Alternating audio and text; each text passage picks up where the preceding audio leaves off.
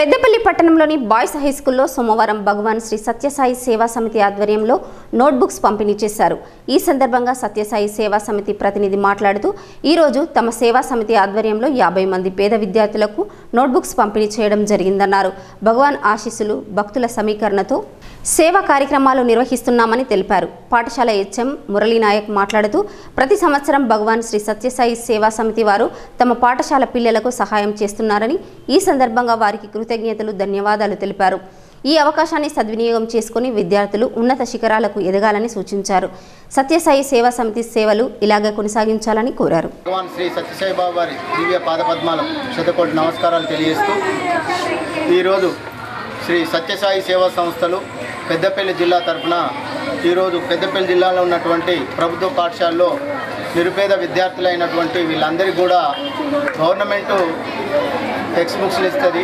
కానీ నోట్ బుక్స్లు కొనుక్కోవాల్సిన పరిస్థితి ఉంటుంది కాబట్టి ఆ నోట్ బుక్స్లు మా సత్యసాయి సేవా సంస్థ ద్వారా ఈరోజు యాభై మంది విద్యార్థులకు అందించడం జరుగుతుంది. ఇటువంటి కార్యక్రమానికి మా అందరికీ స్ఫూర్తిదాయకమైనటువంటి భగవాన్ బాబా వారు ఆయన ఆశీస్సులతో ఈ కార్యక్రమం చేస్తున్నారు తప్ప ఇక్కడ ఉన్నటువంటి ప్రతి ఒక్కరు కూడా బాబా భక్తులందరూ కూడా సమీకరించి ఈ కార్యక్రమంలో పాల్గొంటున్నారు. కాబట్టి వీళ్ళందరూ కూడా ఆ నోట్బుక్స్ తీసుకొని వీరు వాళ్ళు రాసేటువంటి ఏదైతే ఉంటుందో అందులో రాసి వారు ఈ సంవత్సరం అంతా కూడా వారు కొనుక్కోకుండా ఈ నోట్బుక్స్లో అందించడం జరుగుతుంది. కాబట్టి ఇటువంటి మంచి కార్యక్రమం ఈ పెద్దపల్లి ప్రభుత్వ పాఠశాలలో ఏర్పాటు చేయడం చాలా ఆనందదాయకం.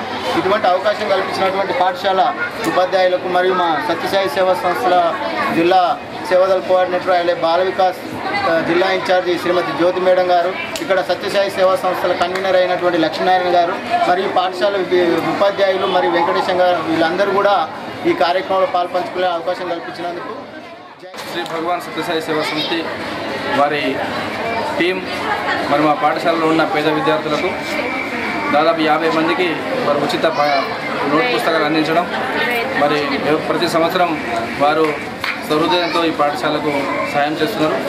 ఆ విధంగా మరి పిల్లలు వాటిని ఉపయోగించుకొని మరి మంచి స్థితిలో వెళ్ళాలని కోరుకుంటూ మరి వారి ఆశీస్సులు ఎప్పుడు మా పాఠశాలకు ఉండాలని చెప్పేసి ఆ విధంగా ఇదే విధంగా వారు ఎప్పుడు మా పాఠశాల సహాయ సహకారాలు అందిస్తారని చెప్పేసి కోరుకుంటున్నాం. ఆ విధంగా మరి పిల్లలు కూడా బాగా ఇట్లాంటి అవకాశాలను వినియోగించుకొని మంచి భవిష్యత్తులో మ- మంచి పొజిషన్లో ఎదగాలని చెప్పేసి కోరుకుంటున్నాం.